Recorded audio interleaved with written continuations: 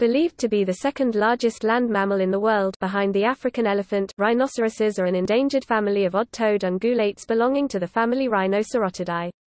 There are only five species and 11 subspecies of rhinos left alive today, white or square-lipped black, Indian or greater one-horned Sumatran and Javan. The first two are found in Africa and the others across Asia. One of the easiest ways to differentiate between them is the number of horns. The Javan and Indian rhinos have just one, whereas the others have two each. Despite their names, black rhinos aren't black in color and the white ones aren't white. Both are gray. They are differentiated by the shape of their lips. The former has a pointed upper lip, while the latter's is squarer, hence the alternative name.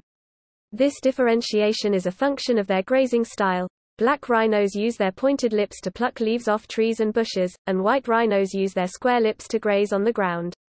Both species are between 5 and 6 feet 1.5 meters and 1.8 meters tall, but white rhinos are much heavier. They can weigh up to 7,900 pounds 3,584 kilograms compared to their cousins 3,080 pounds 1,400 kilograms. Regardless of the species, rhinos have been, and are being, hunted to extinction around the world. This is because their horn is used as an ingredient in traditional medicinal practices, which believes it has healing and or aphrodisiac properties. They are also considered as status symbols. The horns, which are made of a substance called keratin, are prized in illegal wildlife markets around the world. There are approximately 30,000 rhinos left in the world. Of this number, between 19,682 and 21,077 are white rhinos. The black, Javan and Sumatran rhinos are classified as critically endangered by the International Union for Conservation of Nature IUCN. White rhinos are near threatened and the Indian rhino is vulnerable. In terms of actual numbers, the Worldwide Fund for Nature WWF believes there are fewer than 80 individuals each of the Javan and Sumatran rhino left today. Rhinos are massive creatures but, like most large-sized mammals, they are herbivores. Rhino diets range from grass to foliage, twigs, fruits and, in the case of the Indian rhino, aquatic plants. Given their size, rhinos have slow reproductive rates, females usually have calves once every 18 months to 5 years. Rhinos also have one of the longest gestation periods of all mammals, females carry the young for around 16 months. Only the elephant has a longer period, between 18 and 22 months. Females usually give birth to single calves who stay with their mothers till they are three years old. Rhinos can live up to 45 years in the wild. Rhinos are solitary animals. They can be found in groups while grazing, but this is because of concentration of food and resources and not because they live in them.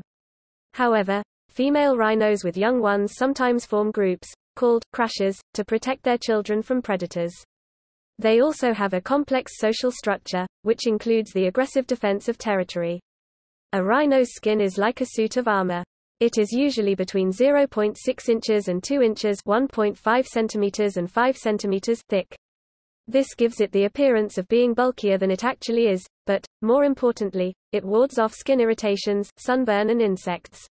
Interestingly, a rhino's skin is also sensitive, particularly to ticks and infections, which is another reason why they love wallowing in mud, it helps keep the skin cool.